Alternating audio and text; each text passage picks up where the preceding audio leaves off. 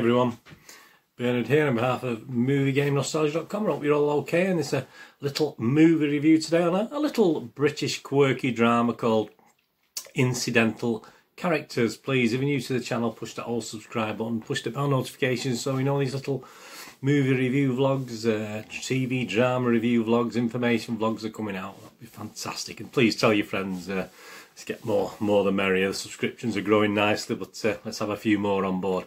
Yeah, incidental characters. It's um, been given a 12A uh, rating, an hour and 47 minutes, and uh, yeah, it's set in the picturesque English market town of Lewes. Very pretty, very nice. Um, Josie uh, is a dreamer. Tony is a hapless romantic. Alf finds other people difficult to read. Alison is lost in alcohol and isolation. Join the club, love. And for all four these four individuals are looking for answers, but uh, perhaps are asking the wrong questions, unfortunately. Yeah, it does. Uh, this is from the blurb. This is from the maker's blurb. Uh, Incidental characters celebrates the magic of moments and the influence we have on each other, often without knowing it. Uh, directed by Benjamin Verrill and written by Benjamin Ferrell, So he's very greedy, isn't he? Does does all the things himself.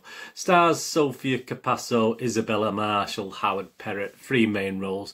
Uh, is it any good? Well, there's not a lot of reviews out there. There's nothing on Rotten Tomatoes at the moment. There's nothing on Metascore. But uh, Joe Public, you and me, Internet Movie Database, it's getting four out of ten based on 32 reviews. There's not many reviews actually written reviews been left. As, you, as I say to you, you could have like a thousand reviews on there, and there's probably about 20 people actually can be be bothered uh, to write a proper review on something. So, yeah, it's only getting a four out of ten overall. But uh, the guys who've actually left a written review, I mean, they're, they're mainly positive. Actually, there's uh, some. These are some of the comments. Um, a delightful British film, uh, pretty scenery, dismal script quirky, funny, and life affirming, and delightful. So, I mean, that's just some of the comments from four of the reviewers. They obviously said the there is a negative there, but obviously the, the positives are, are much to the thought. Yeah, I mean, my little thoughts, uh, little MGN thoughts. I mean, I do like these little quirky dramas. Uh, you know, it's it's not Crash or things like this where different people's uh, lives suddenly, you know, collide and come together. But it is obviously that sort of thing where obviously these four characters, uh, quite quite separate. They're being interviewed separately at the start, which is a bit a bit rubbishy, not not the greatest way of doing it, and obviously asked about things on for like a reality show sort of vibe, if you like. But uh, then it sort of goes into the little stories of each guy, and some in, some in, are interwoven and cross over into into the others, affect the other people as well in it, and it's it's nice. I mean, uh, the characters certainly grew on me. Um, I I thought. You know, the lack of love for this is a bit unfair. As I say, it's only 32 um, people have left to score an internet movie database. So it's not many, but uh, yeah, I mean, it's my sort. Of, I like these sort of little slow uh, dramas that don't don't really go anywhere, but they explore people's lives, and it is a simple tale, but it's a, with a nice ending as well, which is nice. And there's nothing wrong with that. There's nothing wrong with a nice simple watch on a on an afternoon, sat on your sofa with a with a with a hot chocolate and a bag of popcorn, a hot chocolate and a pack of digestives or something like that. It's it's just a really really nice film. I did really enjoy it, and uh, it's nice to see these relationship dramas. And you're thinking, why is he not doing that? Why is she not doing that? Why has he said that? Why is she not reacted like this? And it is always that. I mean, it can be annoying because you, you want you want certain characters to uh, sort of get together or not get together, etc. And the characters uh, initially, I wasn't overly infused with them, but as as the as the film um, meanders on and rolls on. Excuse me.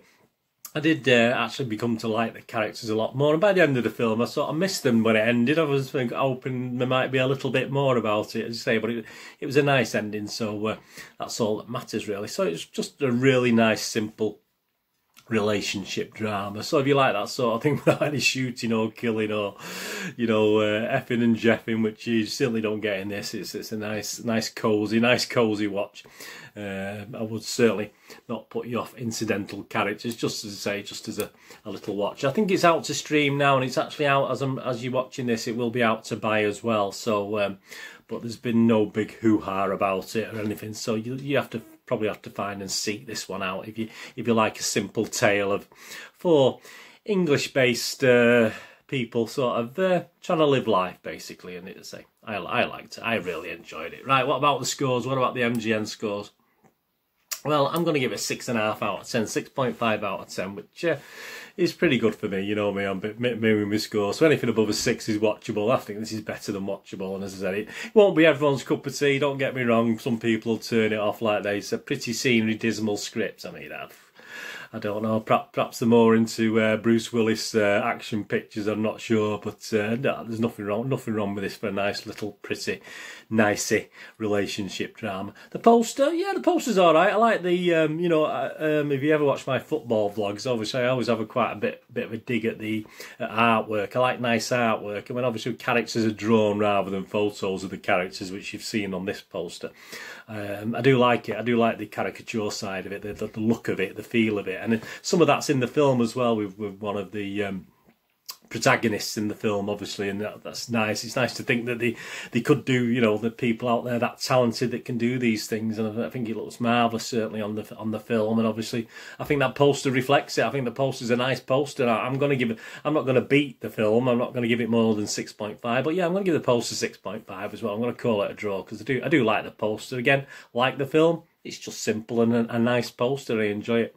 Anyway, please, if you get to watch incidental characters uh, by streaming or you actually buy the film, I think it's a little bit what I saw on DVD might be a little bit expensive than perhaps it should be, but that's probably because of its rarity value. I don't think you'll be able to find it everywhere in stores and stuff. It's uh, you have to shop around or go online and buy it if you really want to buy it.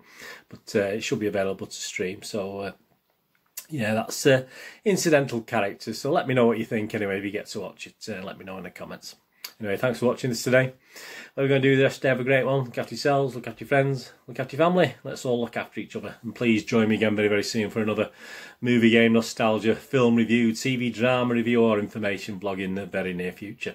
This is Bernard saying goodbye for now. Please stay safe, everyone. Bye bye.